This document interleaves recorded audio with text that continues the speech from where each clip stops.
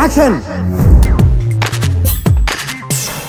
పవన్ కళ్యాణ్ హరీష్ శంకర్ కాంబినేషన్లో గబ్బర్ సింగ్ తర్వాత మరో సినిమా రాలేదు. ఈ ఇద్దరి కాంబినేషన్లో ఆ తరహా సినిమా కోసం అభిమానులంతా ఎంతో ఆసక్తికరంగా ఎదురు చూస్తున్నారు ఈ నేపథ్యంలోనే వీరిద్దరు కలిసి ఒక ప్రాజెక్ట్ని సెట్ చేసుకున్నారు.